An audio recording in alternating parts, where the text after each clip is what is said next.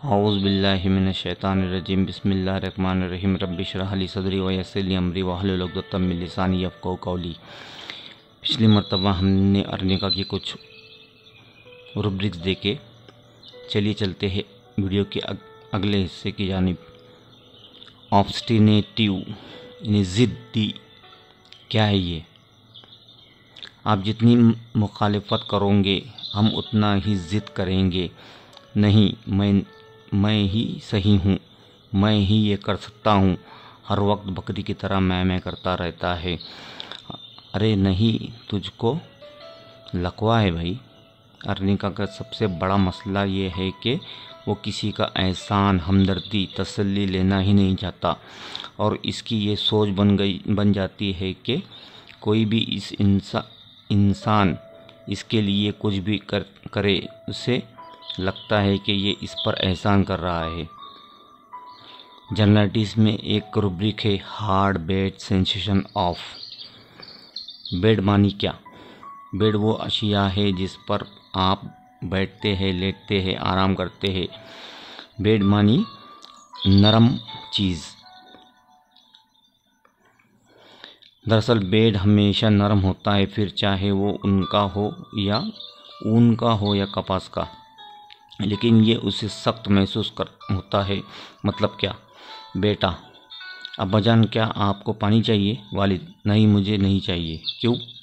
क्योंकि मुस्तकबिल में तुम ही कहोगे कि कल मैंने आपके लिए पानी लाया था।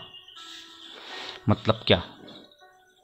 अरे, तेरे परिवार के अशखास तुझे प्यार, दुलार और ख्याल रखते हैं और ये इसका क्या गलत मतलब निकाल रहा है कि कल को यही मुझ पर एहसान जताकर मेरा फ़ायदा उठाएँगे। देखिए, इनके बीच का फ़र्क। परिवार नरमी के साथ इसकी खिदमत करना चाहता है और ये इसको सख्त महसूस करके इसका गलत मतलब निकाल रहा है कि कल को यही लोग उलट उलट जवाब देंगे। ये हमने तुम्हारे लिए फ़ला फ़ला तरीक़ों से खिदमत की। तो मुझे नहीं चाहिए। तो उसे लगता है कि बेड इज़ टू हार्ड। इसकी खूबसूरती पर गौर करें, आप हमारे पास रुब्रिक है, इरिटेबिलिटी, सुपर आफ्टर। सुपर यानी पुराने ज़माने में जब मैं आपके लिए कुछ खाना चाहता, करना चाहता हूँ तो मैं आपको मेरे मकाम पर बुलाता था और कुछ इनाम देता था कि मैंने आपके लिए फ़ला काम किया।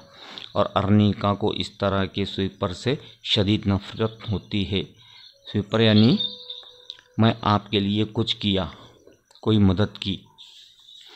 मैंने आपके लिए कुछ किया, और अब मेरे पास एहसान, अब मेरे एहसान तले दब रहे हो, और अब मुझे भी आपके लिए कुछ करना होगा। जो कि मुझे पसंद नहीं है। आपको मुझे देना है तो दो, लेकिन एहसान की बात मत करना। अगर ऐसा कुछ है तो मुझे नहीं चाहिए। Fear arrest अप्रोस्ट of being fear of being hurt touch aversion to touch touch यानी आप, जो आपके दिल को दुखाए, छुए, और इस हादसे में मेरा दिल को छुआ। और अर्निका के लिए टच क्या है? एहसान। मैं ठीक हूँ, मैं ठीक हूँ। वरना अगर मैं ये ना कहूँ तो आप मेरे खिदमत में लग जाएँगे और मुझे अपने एहसान तले दवा देंगे, जो कि मुझे पसंद नहीं है। अर्निका प्रिजमचस घमंडी, हॉटी होता है। ये घमंडी है अर्निका का, जो किसी का एहसान लेना नहीं चाहती।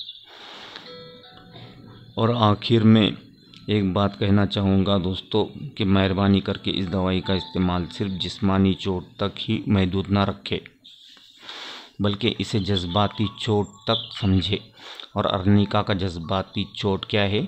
अगर मैंने किसी की मदद ले ली, ठीक है, भले ही मुझे लखवा है और मैं बिस्तर से हिल नहीं सकता, लेकिन अगर मैंने इसकी मदद ले ली तो मुझे इसका एहसान तले दब जाना होगा, जो कि मुझे कतई गवारा नहीं।